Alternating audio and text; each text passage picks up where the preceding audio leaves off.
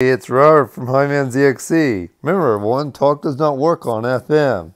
KXTE 107.5 learned that the hard way. Ooh.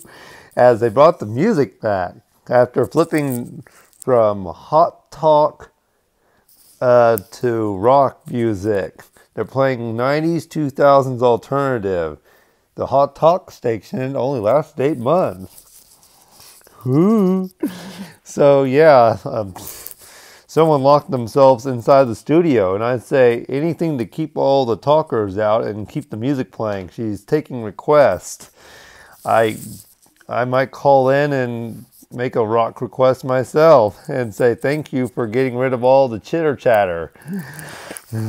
so, guys, I hope you have a wonderful day. 107.5 KXTE. Las Vegas, I believe, is open and calling himself X1075. Yep, that's right. KXTE. Uh, I'm not going to pronounce that. Las Vegas. Yeah, alternative from 90s and 2000s.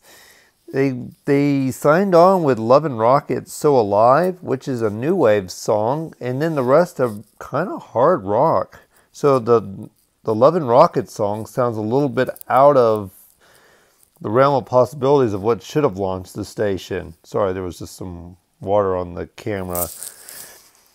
The rest have been just very heavy metal stuff. I might make a request, I might call in. I've never picked up the station in Austin, but I just might call in just to say hi. Uh, probably check out the station on radio app. That's right. The there's actually a application on your phone that's actually called radio app. It's that simple and it looks like you're listening to an FM radio station. I think I've used that as an FM band scan for Florida stations on a Hobbyman ZXC, you know, my band scan channel. So check out KXTE 107.5 out of Las Vegas, Nevada. Not to be confused with Las Vegas, Mexico.